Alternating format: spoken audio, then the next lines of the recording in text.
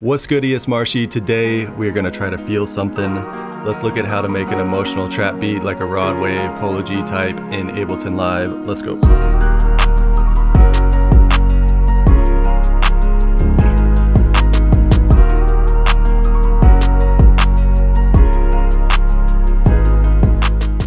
Emotions, feelings, pain, struggle, success. Let's break down everything I did in this project. I'm gonna play through the melody first.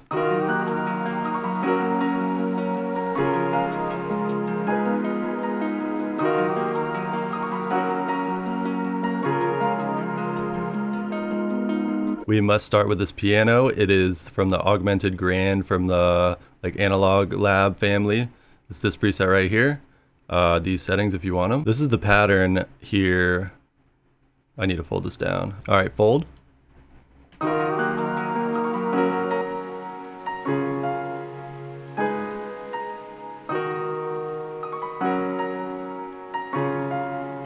So it sounds really good all together, but it's super simple when it comes down to it. Basically, one of the feelings that gives these songs like so much feeling is using like a super familiar chord progression, almost just like a pure poppy four chord progression. So that's all we're doing. We're using a simple progression and then I'm basically just like using the notes in these chords and creating a top line on top. Just clicking things in, trial and error. I'm no like keys playing expert, but that's all it is. Find your progression and like, you know, use a progression that's already been used and do something that works.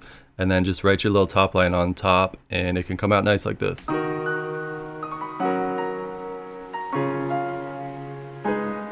And then as far as processing on the piano, like the thing you want to do is make it sound more realistic than just static MIDI notes. So, you know, just slide things off the grid a little bit. And then I use this Ableton Velocity device, uh, just changing the range and the random to make it sound a little more like it's played. EQ out some of the lows and then send to a reverb. As you can see here, I've sent this amount of dry wet signal to a reverb and a delay on these two return tracks. Here's the reverb and here's the delay. And that piano layer is just supported by a little pad playing the same chords.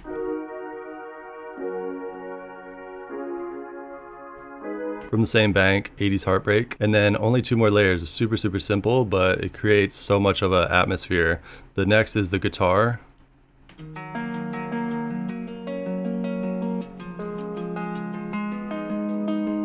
That's from the Electric Sunburst Kontakt Bank. It's uh, playing this preset and then it's this uh, pattern right here. And then you just turn like your voicings, you can do all these different voicings, you just turn it off so it like plays the notes that you're telling it to play. And just play the same chords with no bass note and it comes out like this.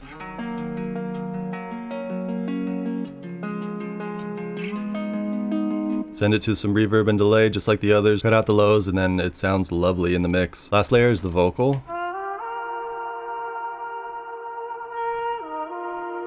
A lot of these songs in this like pain beats genre, one of the things that takes their beat kind of to the next level is just like a vocal sample. This one is just playing these two notes, which is coming from a Kontakt bank called Vocalise 3, or you know, if you want to pronounce it correctly, go ahead. But the only thing I'm changing is it's just one of these phrases, and then you choose the two notes in the piano roll, and then you just move this middle knob, and that's kind of like how much emphasis you're giving the sound. It's sent to the same reverb and delays. It's got uh, some of the highs cut off and as well as more of the lows cut off 300 hertz and then it's sent to Valhalla Shimmer 36% mix to give it that big washed out sound.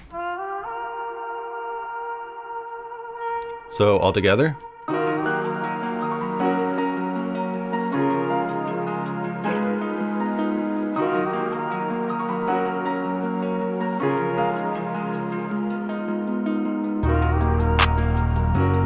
Drums next. Here's with the 808 included.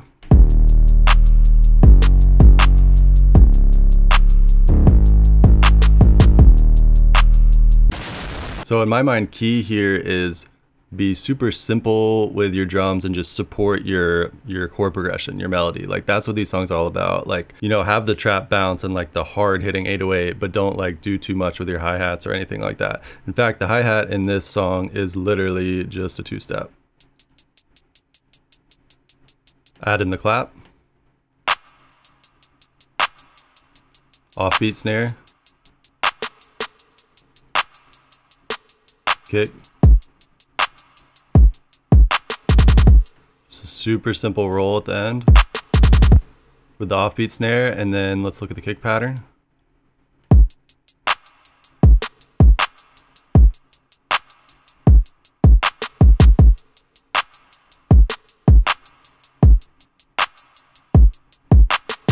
And if you're gonna do a bunch of kicks or 808s in a row, just make sure you lower the velocity down low. So let's add in the 808 and take a look at the pattern.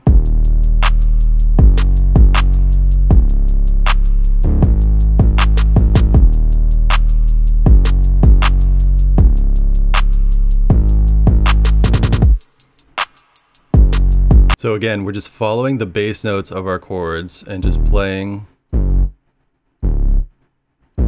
like you've heard that chord progression before. And the, you know, add in the little sauce here and there that, you know, you do as a producer. So here we got a little slide. And then at the end we got the little roll. That 808 is just one I found in the Heat Up 3 VST, and then I added like a good amount of uh, Soundtoys Decapitator on the end setting, just moving this knob up, just to give it that like, you know, real distorted sound. Sounds like you know, kind of like a Spinz, but like a, a, lot more distorted. And if you just want to use like a totally normal Spinz, that's super valid for this style too. And then all that's left to think about is like arrangement of the song. So if I could give like my most important tip on arrangement in the world, like is just to steal it and use other songs arrangement that work. Like it makes so much sense. So that's what I did with this song. I deleted the reference for now. Like, I don't know why I did that, but that's how we got here. Basically, it was like another Polo G song. And so one thing we needed was like an extra like sub bass that's not the 808 for this section. So we just start with the melody playing by itself. We have a little cutout here and then in comes sub bass and like the beginning of the drums, but not the full thing.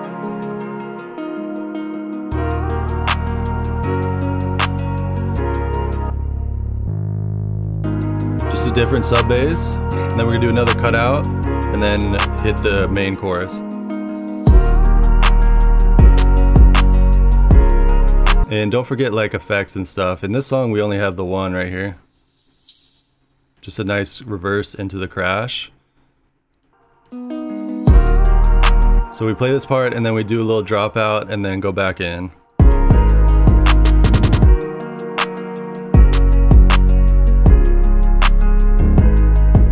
But notice, you know, what happens here is the the filter comes in or the EQ, we're just using an EQ. We're taking out the highs above 3k hertz uh, to, you know, just let that first verse happen. So here's the chorus, melody's louder, and then first verse comes in, more space for it. We also don't have the vocal yet. Vocal comes back now add something every eight bars, every four bars, eight bars.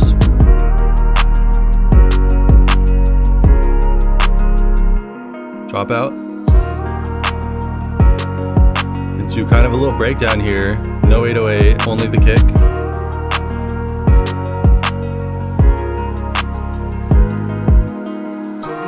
Then break all the way down back into the piano and just kind of build back and go from there.